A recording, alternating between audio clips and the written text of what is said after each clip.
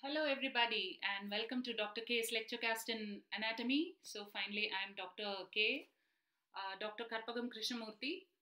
And from the request of uh, many of my friends, well wishers, and students, I just wanted to give a face presentation of who is this Dr. K.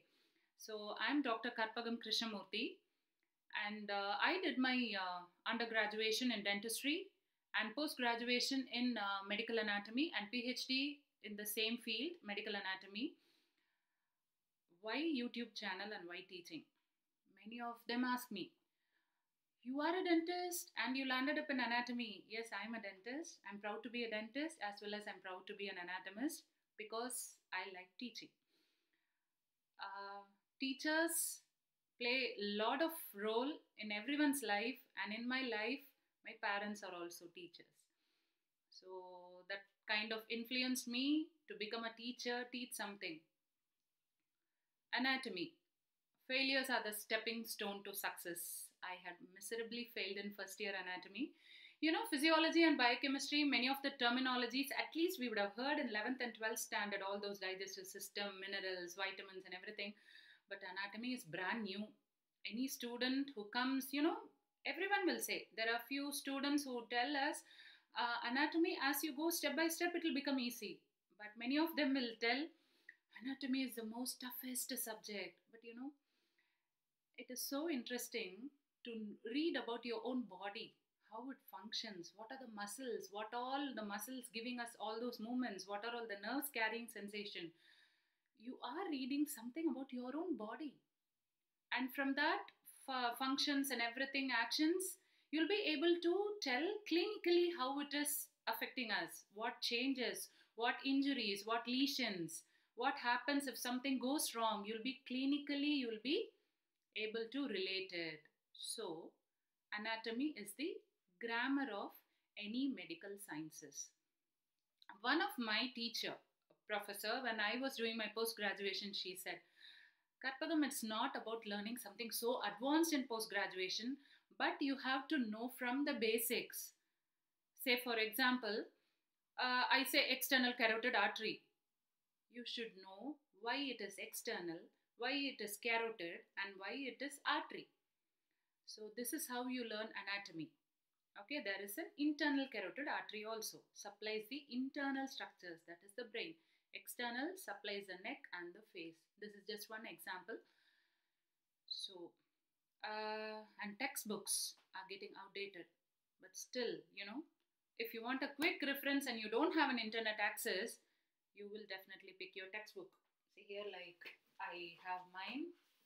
This is one of the textbook, and you know, wherever I see this word anatomy, I just go crazily pick the book to read it. What extra um, what do you say extra concepts i can learn from that so anatomy you should know anything any subject you learn it is from the basic. I'm talking english.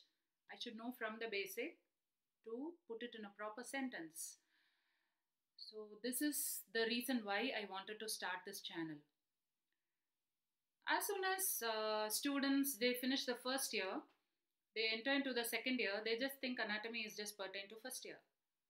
I said it's the grammar of medicine and it has to be applied. Whatever you read in the basic medical sciences are the basics.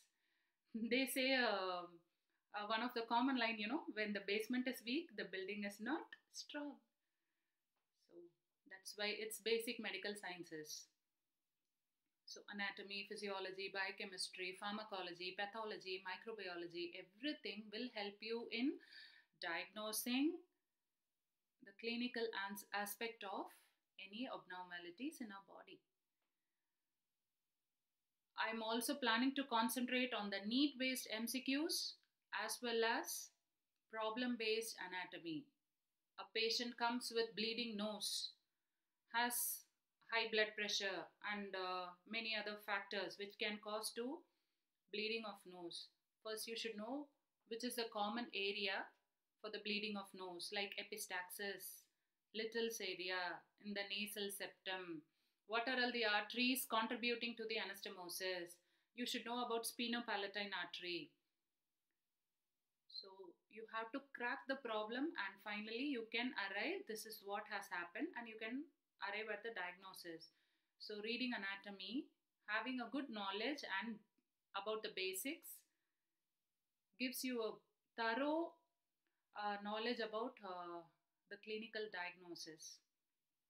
So I'm going to focus mainly. Uh, I was doing lectures recently. You would have seen parotid gland, paranasal air sinuses. So furthermore, taking it ahead, I'm planning to do some need-based question discussions. Just snippets like three three minutes. You just refresh a topic. Why this answer we have concluded, and problem-based. I'll tell you a clinical case or a problem based uh, question, and uh, we'll have a small discussion so that it will help you to improve the knowledge. And I request all of the viewers to give a good support and also drop some comments which, has, which are really helpful for me. And uh, stay tuned to my channel and please subscribe hit the bell button as like everyone says hit the bell button to get the further notifications so i'll meet you in another lecture. Some cranial nerves and artery and we'll have uh, snippets on it also added up in future videos